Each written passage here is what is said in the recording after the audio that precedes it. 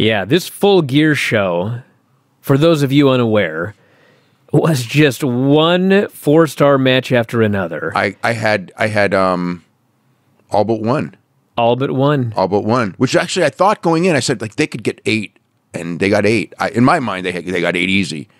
I know I know there are friends of mine who said clean sweep, but I would say eight. So Well, I mean, the quick story is that Hangman Page is the new AEW champion. He beat Kenny Omega. so that match was freaking off the charts. That was one of the better matches that you'll ever see. That's a su- for sure match of the year candidate. Yeah, and uh, so he's the champion. He beat Kenny Omega with the uh, buckshot lariat, and they paid off the story from years and years ago when the first time that Hangman was challenging for the title, the Bucks refused to go to the ring with him and be in his corner, and uh, Well, they were busy, but yeah, yeah. but they weren't there. Yeah, Yeah, yeah. And then obviously there were all of the twists and turns, and he ended up costing the Bucks the uh, the tag team titles. Yep. And him and Kenny Omega ended up tag team champions. They broke up at Full Gear a year ago. Mm-hmm. One year build to the rematch, which was supposed to take place. Wait, wait, wait, wait, wait. They didn't. Um, the, the, wasn't the full gear a year ago the the Omega Page uh, Championship? I mean, That- um, tournament final. Yeah, yeah, yeah,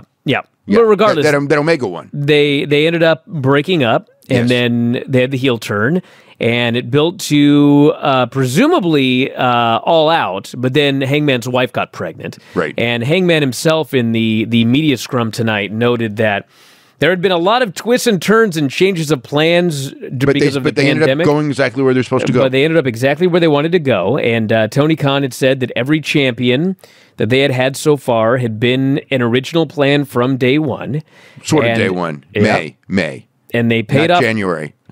They paid off the storyline here with Hangman winning the title. The Bucks came out, and the big story at the end was both Nick and Matt had the opportunity to prevent the buckshot lariat, and both of them Didn't do it. didn't do it. And so Matt nodded at him. Hangman hit the second of two buckshot lariats, got the pin, won the title. Happy ending. The fans went nuts. Uh, great ending to a fantastic show. Absolutely. You know, I mean, the thing is too is that like this story is only half told.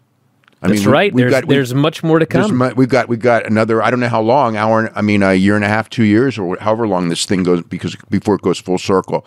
And the end is full circle. So yeah it's incredible. It's actually uh, one of the greatest um, long term stories. I mean as far as like multi year story and um, you know from day one you could sort of see where it was going. Well not quite day one but you could sort of see where it was going in between. I mean it was funny because originally like I remember when uh, when we were about when when they did the split and everything, and it was like, oh yeah, the the end of the story is is Hangman winning the title, and then whatever it was like a year ago, it was like, oh my god, when Hangman wins the title, that's still that's it's still not the end of the story. So it's there's got a lot to go, um, but it was uh, yeah, I thought that match was freaking incredible. Hangman Adam Page and Kenny Omega for the AEW title. 25 minutes and 35 seconds. This match was awesome. And uh, it played. This was beyond awesome. I mean- this was a match of the year candidate. Kenny Omega goes in there, and uh, you know, as we talked about before, he's got his shoulders are all messed up, and uh, But he was fantastic tonight. allegedly is not a lot of strength in his shoulders. I don't know if he doesn't have strength, but he doesn't. He can't. Li- he can't lift heavy weights with them, or I don't even know if he can lift with them. The last, the last time we were talking about it, he said he was able to lift the bar, so it's forty five pounds, which is not. When you hear that a man's shoulder is so bad that he can't lift the bar, you don't watch him go into the ring with Hangman Page and think this guy's going to pull this thing off.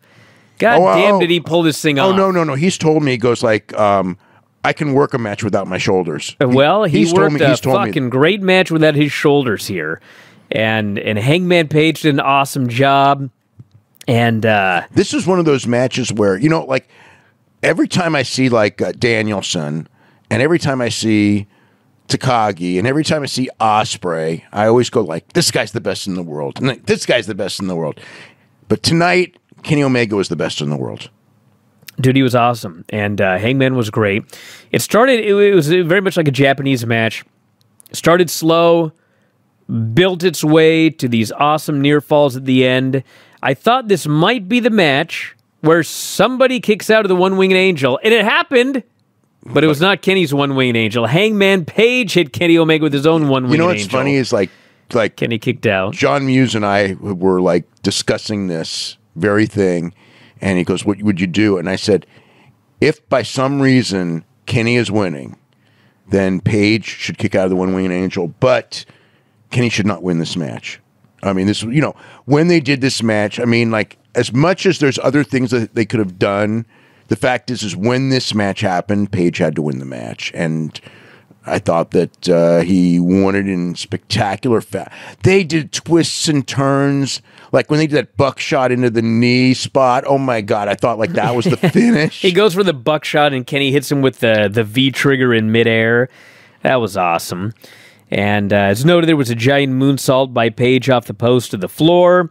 There was the uh, buckshot, which ended up wiping out the referee, and then Hangman hit the uh, the uh, what's it called? His uh, sit down Dead pile driver, the dead eye. Dead eye. And uh, hits the dead eye, and and Aubrey just races down to the ring, one two, and there's a kick out, and the place went crazy for that near fall. Yeah. And uh, referee was dead, but uh, Aubrey ended up doing the rest of the match.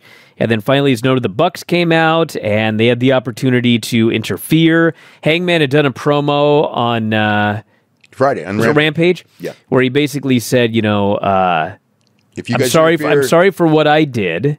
I was wrong. I cost you your match, but you cost me my match, so we're even. Right. But that means if you lay one hand on me, you'll regret it for the rest of your life, or whatever the line was. And so they came out and, and they had the opportunity to lay their hands on him, and Nick had the first opportunity, and he didn't. And uh, Hangman hit the uh, the uh, lariat.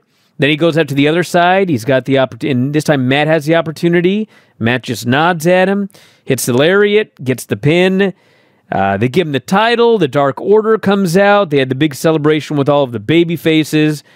Awesome finish to an awesome pay per view.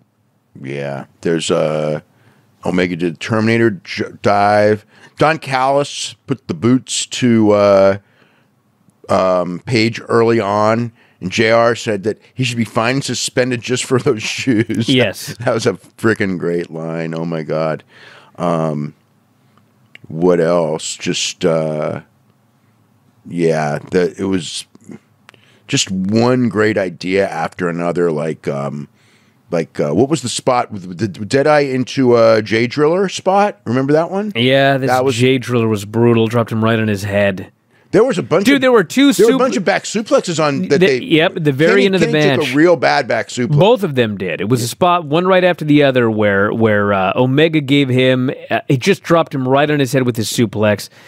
Uh, Cowboy jumps up. He hits Omega with the suplex, drops him right on his head. Thankfully, they only did two. Still two too many, but they only did two, and then they went to the finish from there. Hey, if you're a big fan of Wrestling Observer Radio, we got 12,000 episodes of all of our podcasts up at our website, WrestlingObserver.com. If you sign up today, you get access to every single one of them. The 12 to 18 new shows that we do every single week. You can podcast them, listen to them on the road, at work, working out, in the shower, wherever you listen to your podcasts. And also full access to the Wrestling Observer newsletter and archives. So if you love what you hear, head to WrestlingObserver.com. 12,000 audio shows at your fingertips.